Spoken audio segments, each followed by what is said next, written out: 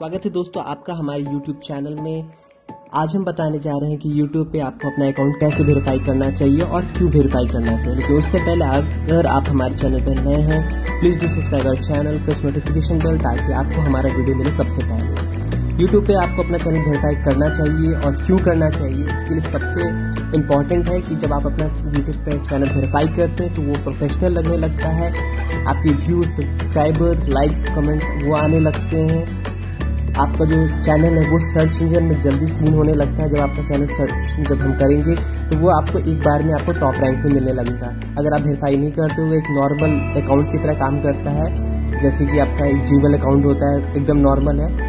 और जब वेरीफाई कर देते हैं तो वो आपका प्रोफेशनल हो जाता है। तो दूसरे लोग भी समझ पाते हैं कि नहीं, ये चैनल वेरीफाइड है, यानी इसने यूट्यूब चैनल क्रिएट किया है, और इसके वीडियोस हमें देखने चाहिए। यानी ये मतलब जेन्युइन आपका एक प्रोडक्ट माना जाएगा, ऐसा टाइप आप समझ लीजिए चैनल होगा।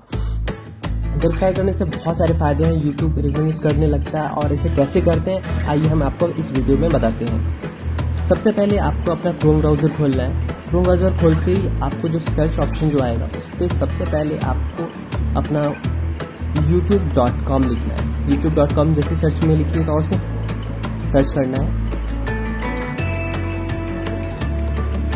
यूट्यूब सर्च में जैसे खुलेगा, उसको आपको थ्री डॉट पे राइट साइड में क्लिक करना है क्लिक करते ही आपको नीचे आना है डेस्कटॉप साइड पे क्लिक करना है, ताकि वो डेस्कटॉप मोड में खुल जाए।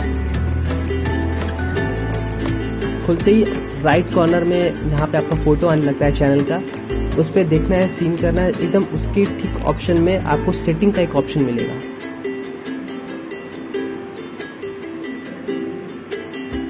जैसे सेटिंग पे क्लिक कीजिएगा आप यहाँ देख पा रहिएगा कि यहाँ पे ठीक सामने लिखा है चैनल स्टेटस एंड फीचर्स उस पर आपको क्लिक करना है।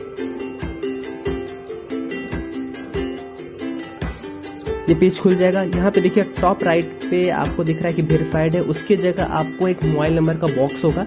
आपको मोबाइल नंबर वहाँ पे अपना सबमिट करना है। और उसको जैसे सबमिट कीजिए तो आपको एक ओटीपी आएगा। ओ से आपको उसको वेरीफाइड कर देना है। ओ जैसे सबमिट कीजिएगा वो चैनल आपका वेरीफाइड हो जाएगा। एट ए टाइम हो जाएगा। इसमें कोई टाइम नहीं लगता है कि दस दिन, पाँच दिन, दस दिन के बाद ऐसे वेरीफाइड होता है। एट ए टाइम वेरीफाइड हो जाता है और यहाँ पे जो नीचे है, बहुत सारे सारे ऑप्शन है। उसको भी आप देख सकते हैं कि कौन कौन इनेबल आप कर सकते हैं। फीचर्स कौन इनेबल है। फिर हम अपने यूट्यूब चैनल पर चल जाएँगे, चले जाएँगे और वहाँ पे जो वीडियो ऑप्शन है, वो हम देख सकते हैं कि कौन कौन से चैनल से कितने व्यूज़ आए। क्या स्कोर कार्ड है, कितने कमेंट्स है या कितने व्यूज़ मिल रहे हैं? यूट्यूब स्टूडियो बोलते हैं यहाँ पे आप देखिएगा, यहाँ इसके ठीक नीचे जो फ़ोटो है लेफ़्ट साइड उसका सेकंड ऑप्शन में वीडियोस का ऑप्शन है, उस पर हम क्लिक करेंगे।